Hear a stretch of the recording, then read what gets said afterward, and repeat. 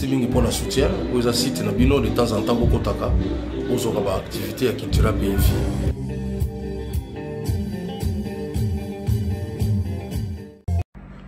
oui kala mingi te okomona ovivre featuring petit frère na vie na ye komona yango entrepreneuria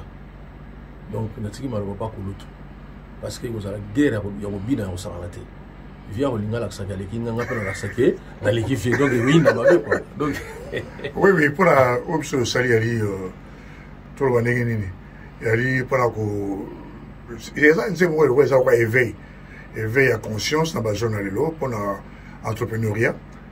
bayeba ndenge nini bakoki kosala mpe baentreprise pour que mboka etomboma mboka etomboma kaka te na ndenge ya lolombo na ndenge ya kokota kotaka babiro na ndenge ya kosala ba sms batindela yo mais ozali mwana mobali nzambe apesa yo mayele oluka ozwa bainitiative so ozwi bainitiative na yo ndenge esgrave alobi na nzembo wana bato baza spécialise mpo nango bayali euh, donc oyo bakoki kosunga yo na baconseil pour ke osala mpe entreprise na yo donc nde tobana lingala donc mwa likablo ya yo voilà bino mo boyebi orchestre ya l'état ezalaka te donc eh, biso tosala mpe baentreprise na biso ah. yango oyo donc voilà vie azokamba zaiko ngai nazokamba kitira pays vie eza ya leta te voilà mais leta na befort biso tosala areconnaissant ke tala baartiste minene ya mboka yango wana donc bango nyonso vie alobi wana mais nga na olakisaki na eleki ye na kobina donc sikoyo vie mpe aza wana mpe ah, yo mpe nakoli te yo kozwa relève danger à bientôt okay.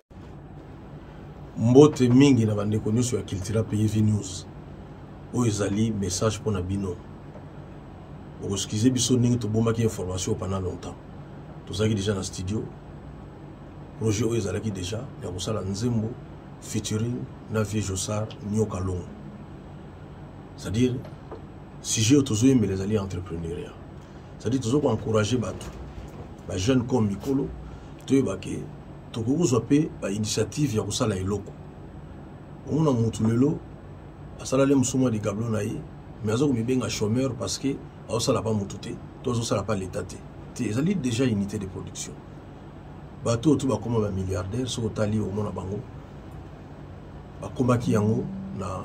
misala baza kosala na bainvention na bango donc tokanisaka te ke okokoma milliardaire so ozosenga bato tellement bazokabela yo ti okoma na mbongo ezalaka te mingimingi ezalaka kaka mosala donc nzimbo yango sense nango yango wana mingi maloba mosusu bokodécouvrir yango nde na, na nzembo nzembo wana ezali en même temps toloba concurrence ya danse nga na vieux josar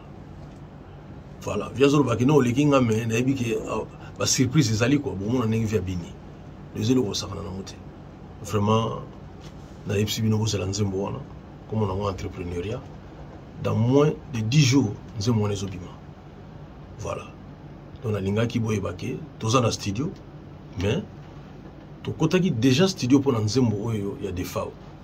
studio mpo na nzembo hommage ya defao ezo continue nango ezo continue kaka wana tosalaki mwa break moko mpo na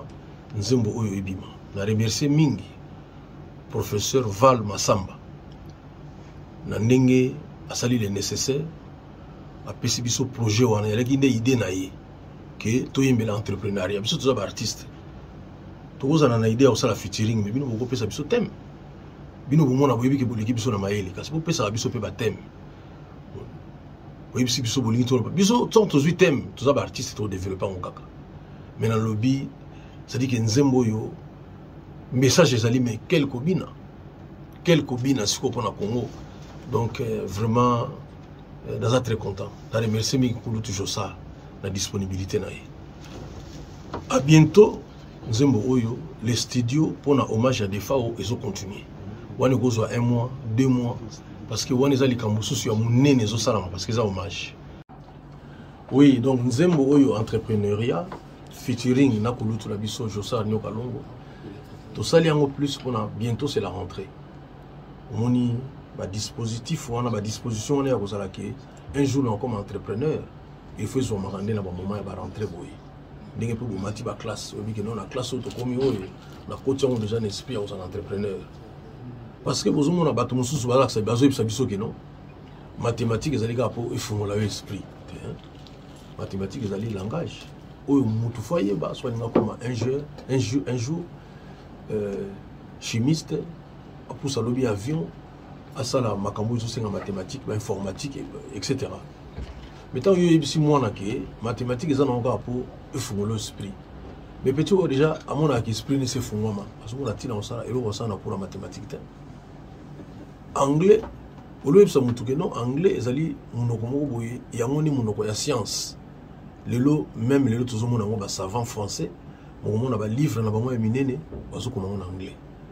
mpo lelo likambo yo osali epanza na mokili mobima fo osala yango na anglais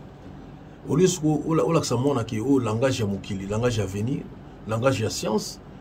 ntango olobi nini ndenge wana te mona prof anglais akoti ye mpe abimi na ye wazomona eloko asala na cours anglais ezali te yango wana bajeune bozolanda ngai na moma oyo toyebaki importance ya na makambo ya classe nyonso oyo osala meme musique biso tozobeta kasi oyokaka teke ina ezali foyeba banote o croche o boye na boye nyonso to wana esengaka makambo ya classe mpe okoremarke bato baza na mwa formation wana ya neti ya baina baconservatoire omona bazalaka toujours na mwa avance vraiment euh, mingi ezali ya koloba ezalaki mpena journée nango te ezali ke toyeba ke d'ici 10 jours toza na problème na congo awa mpo na mama obina boyoka na bino nzembo bosepela na bino mais soki kaka sebene bandi talaka vieux josala talaka ngambo motu na bino angelo cestadire ke ndenge tobineli enfin nayebi ke motu akoki kobina koleka biso eza kaka defawa to alempela to bouro bosiko bango bamisila bango nzembo te donc seke biso toganye déjà donc boza déjà ya kosepela cestadire ke tobini sérieusement alors mpo na rentrée scolaire oyo napesi mbote mingi na le meneur en toge ye moko notre ministre tony mwaba c'est-à-dire que ndenge azokamba akamba rentrée eleka malamu sur toute l'étendue ya rdc voilà donc nasengi vraiment euh, rentrée ezala mpe malamu mpo na bamboka mosusu apart mpe oyo eza rdc te souci na ngai ezali plus mpo na baville oyo eza na kote ya este ya mboka vraiment ekotikala bongo te fo kuna mpe bana bazonga classe fo tosala biso tu voilà toloba toujours ah, avenir ezali mpona bana avenir mpona bana mais il faut tobanda kosala nde sikoyo mpona bana wana vraiment nazali très content lelo ya koloba boye napesi mbote mingi epai ya eugène idiomi ndongala le puissant le professeur taylor lubanga ye atangisaka na ye déjà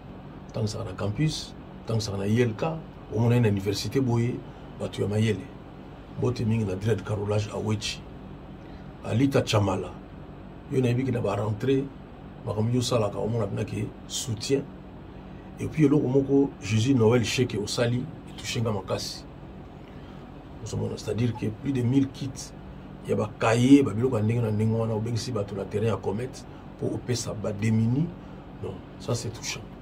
soki moko moko biso moko moko esika tozali tozomi kosala bongo je pense que makambo mosusu tobengaka mpasi eza na oka incomprehension to comprendre que rentrée eza eloko moko très importante mpo na bana tosala tout oyo tokoki kosala nga kutu na culture pays vi ndenge naza boye bato bazotungisa nga mingi mpo na mama rentrée nazokima mikolo oyo nakokima bango batama na nga na place moko ata na bandundu après rentré nde nazongi mpo nayebisi yo soki osali kaka boye rentré okosala kaka boye donc nayebisi donc eza mpasi ya kosala te mama rentré oyo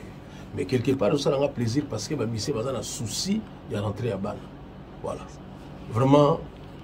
à bientôt otikala malamu nabosani te eric onepunga yongo avec metro king nyonso wana kala mingi te napesi mbote lisusu epai ya jean simon mfuti oyo ya senses mbote na jules alingete na oyo azosala c'est-à-dire que congo il faut ezala na baréférence moko boye na bamakambo ya bamama mayele kua yoko ozala te kaka baréférence moko kaka ya mama bitumba ndenge ezalaki eh, référence moko na makambo kaka ya mabe lelo libanga ekomi na ntina yoka bamabanga ndenge ekomi kolo professeur emile ngoi kasongo longo baloka motu boye professeur tailo lubanga omosala kaka mama moko bayebi soki ingénieur boye